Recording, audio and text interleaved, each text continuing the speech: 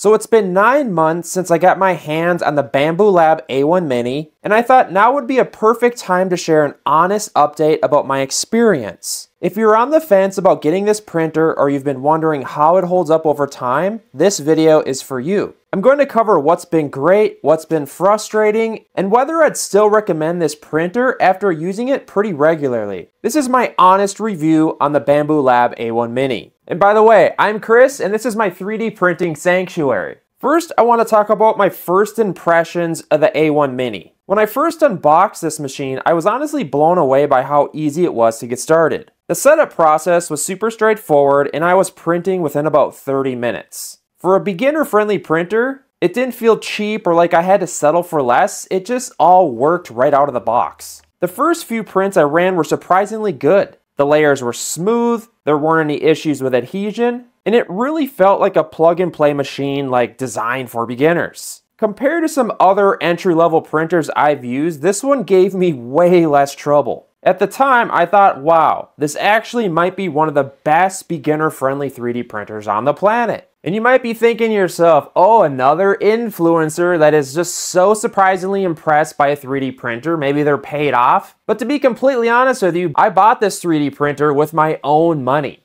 What I'm trying to say here is I'm not bought and paid for. Next, I want to talk about how the A1 Mini has held up over time.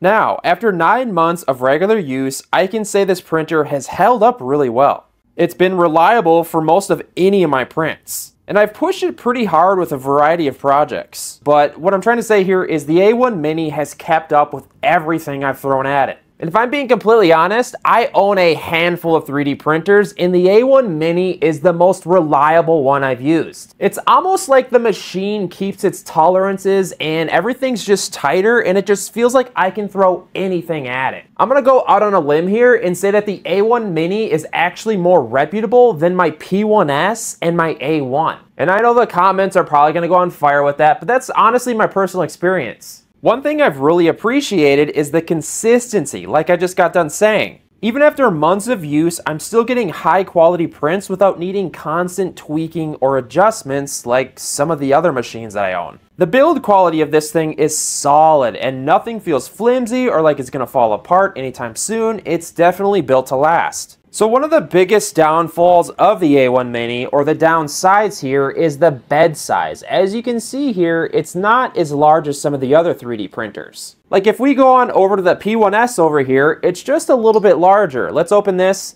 Here's my hand on this build plate right here. That's the size comparison.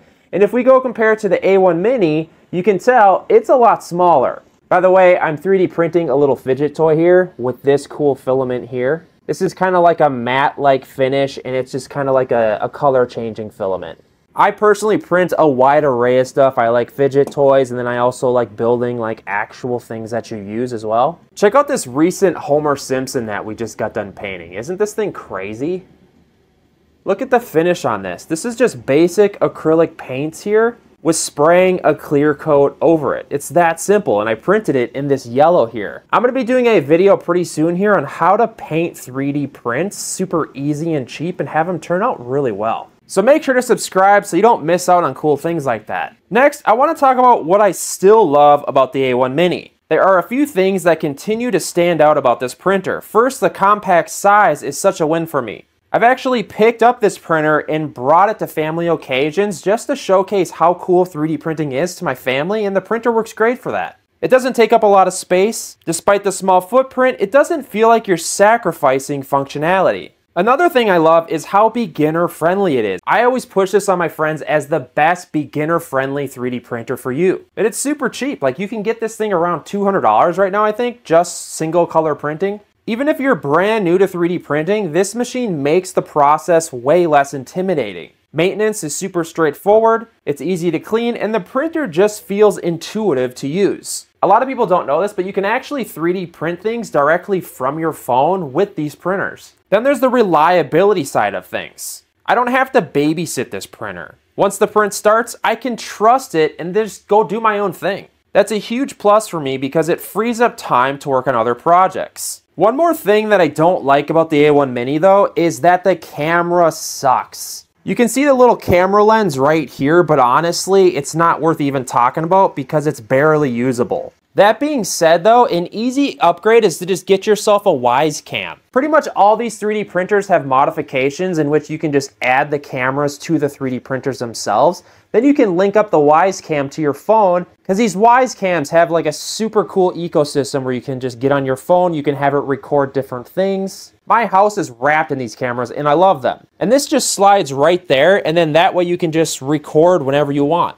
That being said, a lot of these 3D printers have sucky cameras, and I wonder why. Like, this camera's $20. Like, what? how hard is it to put this technology into the 3D printer? But what do I know? I'm just another tech nerd rambling on the internet. Next, I want to talk about the lessons that I learned after using this printer for nine months. Looking back, there are a couple of things that I learned that I think are worth sharing. First, invest in good filament. The A1 Mini works super well with a variety of materials, but cheap filament can still cause unnecessary problems like clogs or inconsistent layers. Spending a little extra money on high quality filament is worth it. Another little piece of advice is to get yourself a filament dryer. Because a lot of people don't know this, but filament actually absorbs moisture with time, depending on where you live, how moisture the air is, etc. But you can cut all that out by just getting a filament dryer and, and drying your filament before using it on the 3D printer. And again, I'll throw all the links of the things I'm talking about down in the description if you're looking for more info. We've also been having a ton of fun painting these little Pokemons. Like they're so cool to print. I also built this little shelf over here. Everything you see here is completely 3D printed. Look at this little Psyduck here. Like we 3D printed this and painted it. And they're just so fun to collect, create, and just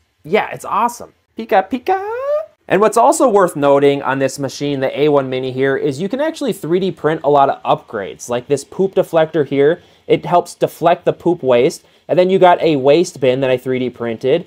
Then we got this 3D handle up here. Then of course we have this little bracket that holds the Wyzecam. I guess what I'm saying is you can 3D print a lot of cool upgrades to put on this 3D printer. If you want to check out that video I've done here, it'll be found right up here in the corner quick. With all of that being said, guys, my honest review is I highly recommend this 3D printer. I truly believe the A1 Mini 3D printer to be the best beginner-friendly, most cost-effective 3D printer as an entrance to this hobby. So if you're on the fence, like pull the trigger, like this is it. The biggest setback though is the size, the bed size. But that being said, most people find themselves like not needing to 3D print huge things. And what you could also do is buy the cheaper 3D printer and you can sell it. Like the market for selling Bambu Lab printers is really good. Hit me up in the comments, like what do you think of the A1 Mini? This is my honest review after using it for nine months. Is it still good? Do I highly recommend it? Yes, yes, yes, times a hundred. And like I told you guys, Bambu Lab didn't send me this printer. I bought it with my own money, no affiliation. When the product's good, it's just good.